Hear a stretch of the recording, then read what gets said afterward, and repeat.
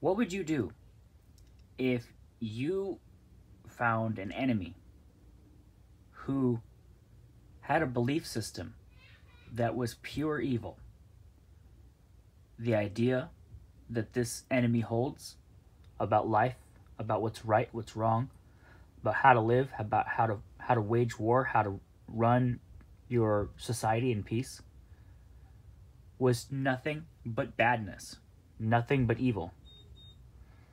It's entirely unrighteous, unjust, and unclean. It's entirely dark and vile and foul. What would you do if you found an enemy such as this who was so deceptive and so manipulating that every time they try to talk to you, whatever they're doing is to their advantage. And basically, whatever deal they're going to offer you, whatever they say, it's always going to 100% help them and 100% weaken you. Even if they offer you peace, even if they offer you mercy, even if they offer you money, even if they give you something that you think you want, the way that they're doing it, it is always going to be harmful to you, to your people, and to the morals of your society, and eventually to the to the survival of your society. What would you do if you faced an enemy that was so deceptive and and their belief system is so evil that per, that even participating with it just making a single treaty with them making an agreement with them making a a pact with them making a non-aggression pact with them is itself an evil act think about the Japanese in World War II slaughtering nearly the entire population. No, the yes, the entire population of China that they came in contact with. As far as the Japanese were able to succeed to conquer the land of China, they killed everyone. Wherever they found civilians of China, they killed the Chinese. They killed them. They killed the Laotians. They killed the Vietnamese. They killed the Filipinos. They killed the Australians, anyone they found, the Koreans. They killed them.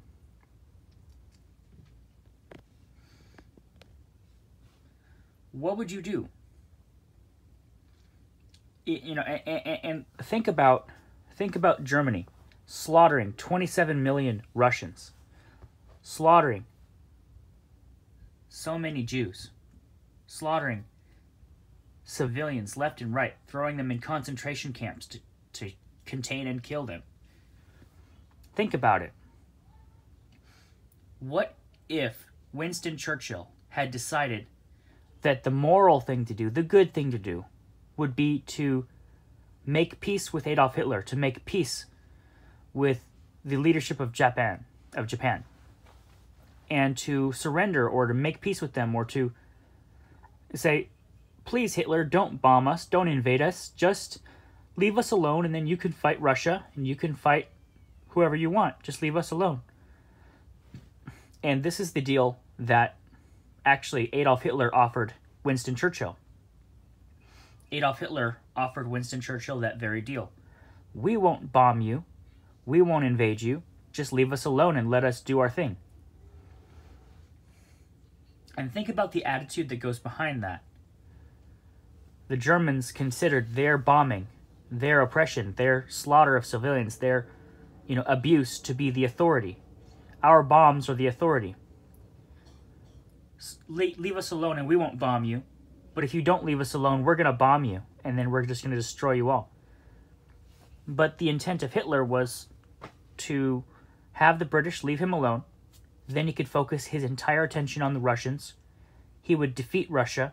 Then, with Russia defeated, he would go and destroy the British because now there's no one to help.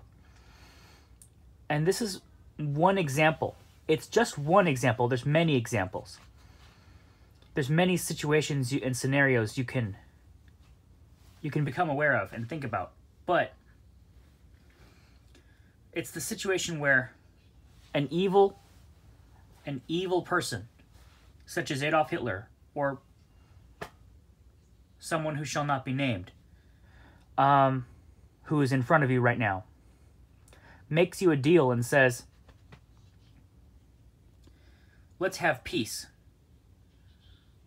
and we'll just equally destroy you know we'll just do our thing and you have peace. And then you do you you you agree with the deal you take the deal and then what do they do?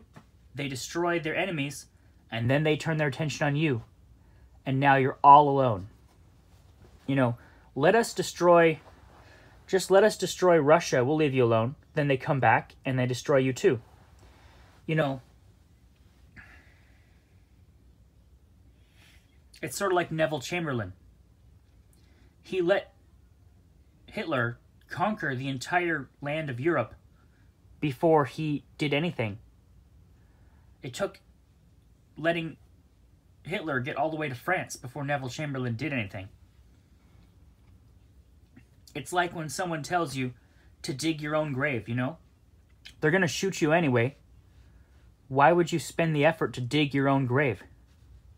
You might as well refuse and let them shoot you, and then they have to dig your grave, at least you're making them do some work. Put the fingerprints on the shovel, you know?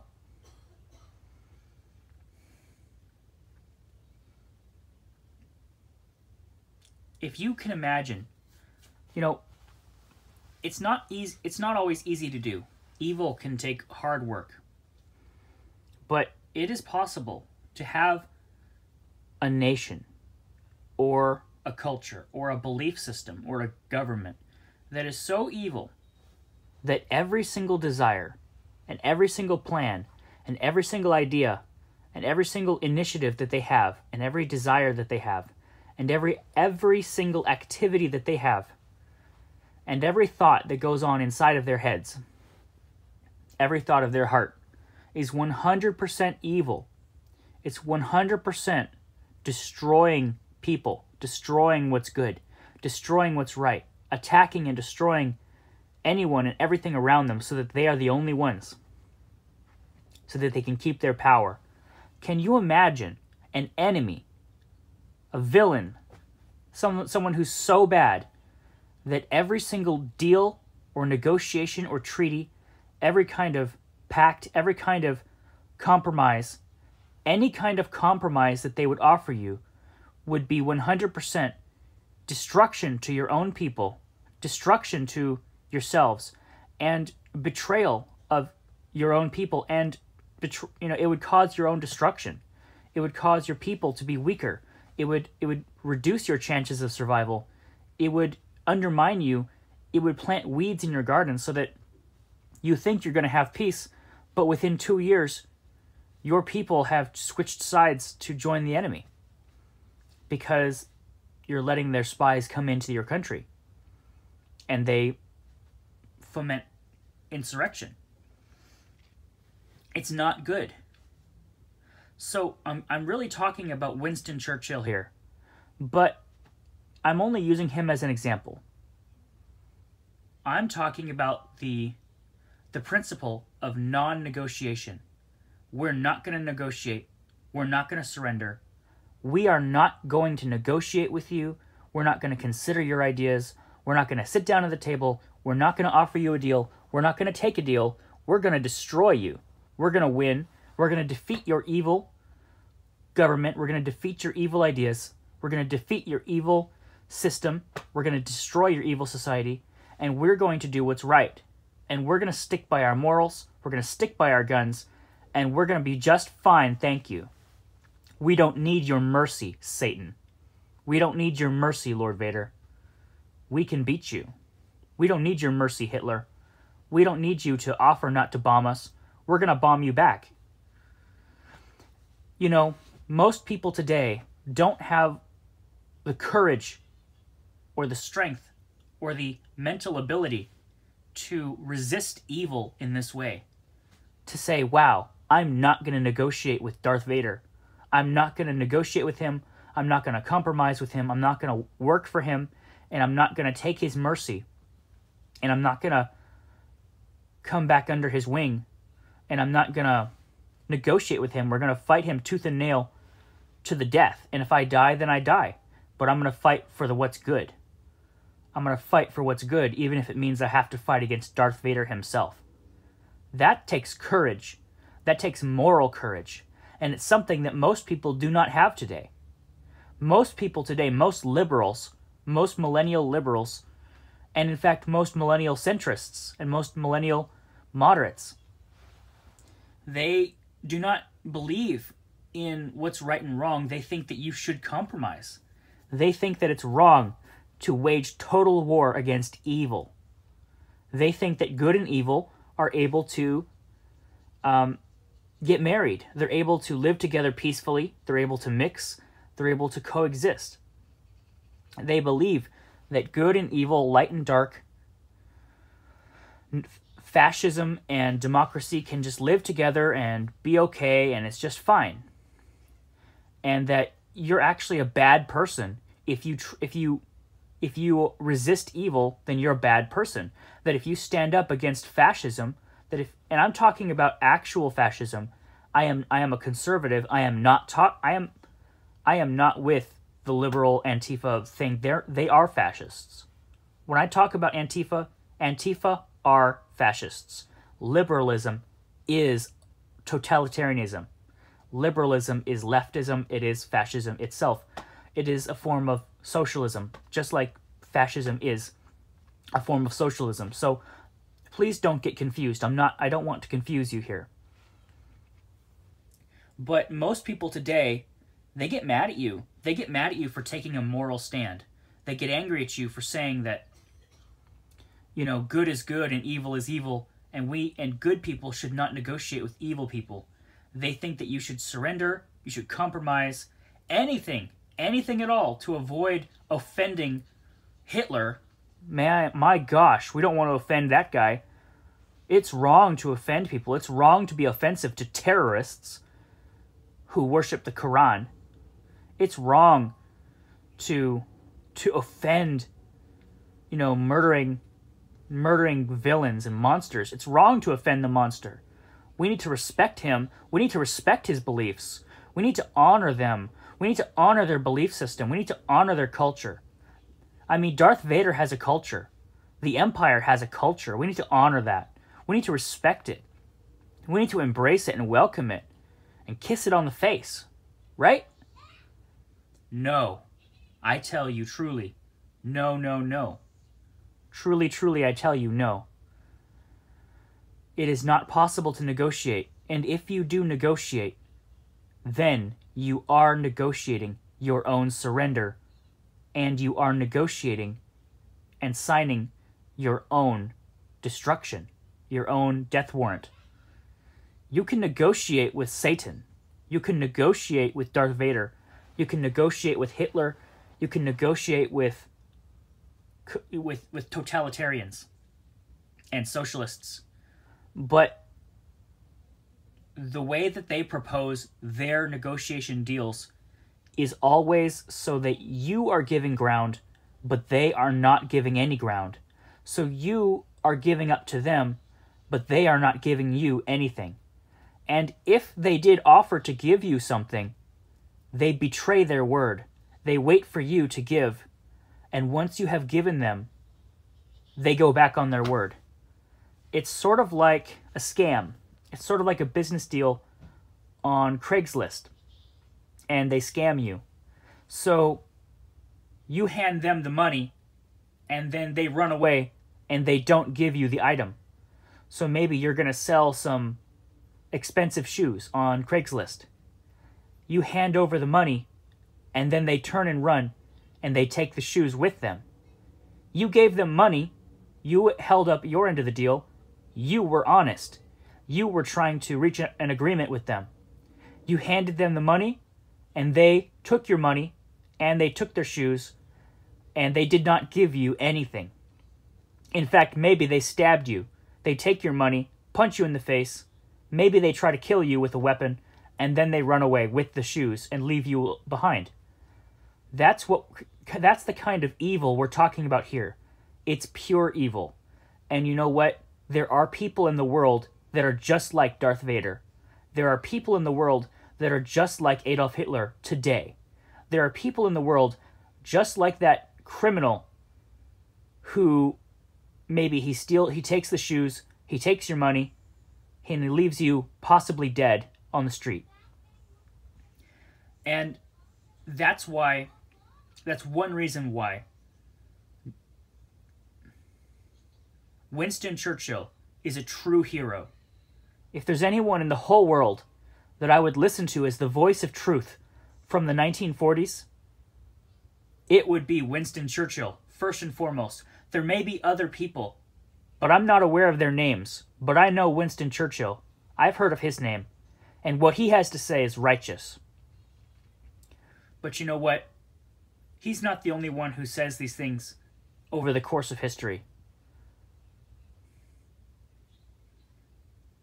The Bible also says the same thing.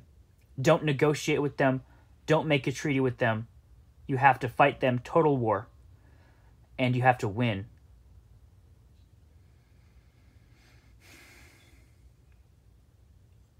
And that's how God said Israel was supposed to take their land.